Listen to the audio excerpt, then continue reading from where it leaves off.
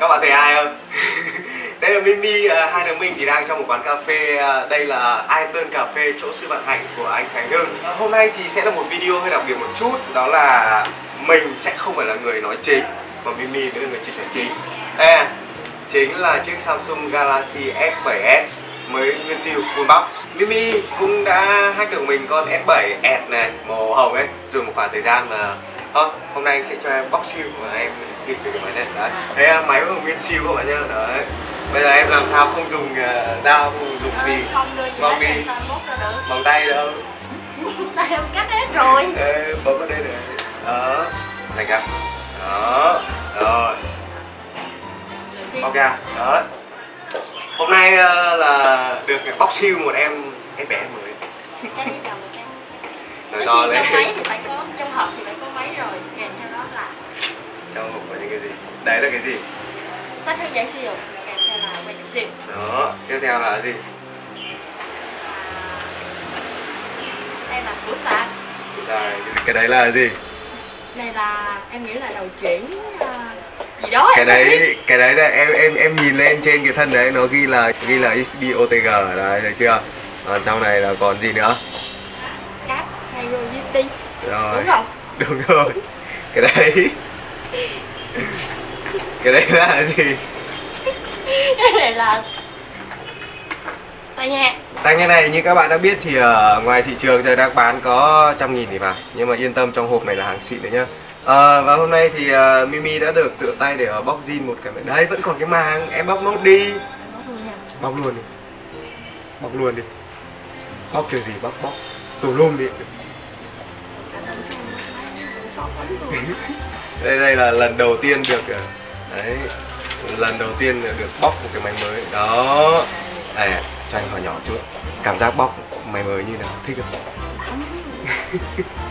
Mở luôn đó Ừ mở đi. Đó, logo Galaxy SBS này đó, các bạn thấy chưa? Đã không? Em ờ, chia sẻ một chút về con Galaxy SBS này đi, xem ờ, em thấy nó như nào. Thứ nhất là thiết kế bên ngoài thì khác biệt gì so với những chiếc iPhone lúc trước mà em dùng không? Công. Nó sẽ là mặt thành công chứ không phải như là của iPhone nữa. Nhìn đẹp hơn, sexy hơn, quyến rũ hơn. Em thích mặt thành công, bởi vậy em mới xài mặt đẹp. Bây giờ là còn một cái thủ tục mới. Đây là còn một cái thủ tục mới nữa. Bây giờ là em khởi động bài thông đi. Ừ. bài đi. Ờ, nhỉ? Ờ bỏ qua rồi cảm ơn đi cảm ơn tất cả kéo lên trên ý tất cả lên trên đó. Là tiếp theo. Rồi. Rồi tiếp theo. Tiếp theo. Đấy thôi ấn vào không cảm ơn trước đã. Mình vào sau. Vẫn bỏ qua. Bỏ qua hết. Bỏ qua tiếp. Không cảm ơn bỏ qua tiếp bỏ hết. Rồi thế làm lâu vậy về sau. Đó đúng rồi. Yeah sau một thời gian thì cũng đã vào được màn hình chính. Nói về Samsung Galaxy S bé thì có lẽ là các bạn đã không còn lạ gì về cái sản phẩm này rồi. Tuy nhiên ở cái thời điểm hiện tại nếu như các bạn muốn mua những thiết bị gọi là máy mới full box và còn nguyên siêu như vừa rồi là Mimi vừa lấy tay dịch ra thì à, gần như là sẽ phải mua hàng gọi là hàng chính hãng đó hàng chính hãng mình nhớ không nhầm giá sẽ dao động trong khoảng tầm 14 triệu rưỡi cho đến 15 triệu tùy từng nơi bán. Tuy nhiên như mình tham khảo giá tại Huka đây là cái máy mình mượn tại Huka phiên bản 32 g à, máy à, quốc tế có cái mã luôn là G935F FD nó sẽ chỉ có mức giá là 12 triệu rưỡi mà thôi tức là nó sẽ rẻ đi được uh, tới khoảng 2 triệu cho tới là 2 triệu rưỡi tùy thuộc vào uh, từng cửa hàng bán. Nó có những mức giá trên lệch khác nhau như thế nào nói chung là chất lượng thì vẫn tương tự là như vậy. Vẫn là máy mới nguyên siêu, full box, rồi là tự tay làm rất là nhiều thứ.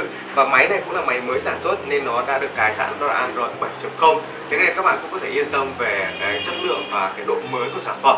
Nói tóm gọn lại thì à, nếu như các bạn vẫn có nhu cầu cho mình một chiếc máy mới này, full box này, thay vì cái việc là chúng ta mua một chiếc Galaxy S8 cũ, các bạn sẽ mua một chiếc Galaxy S7 mới, thì đây cũng sẽ là một sự lựa chọn rất là tốt. Hôm nay thì khác biệt một chút là mình mang cái máy này lên cho mini box siêu lột. Đó trời nắng thôi. Hôm nay video sẽ chỉ vui vẻ như vậy một chút mà thôi. Cảm ơn các bạn đã quan tâm theo dõi. Chào các bạn. Bye chào năm trăm anh em. Đâu bây giờ là 26 nghìn anh em rồi. Chào 26 nghìn anh em của Tony Hùng. Bye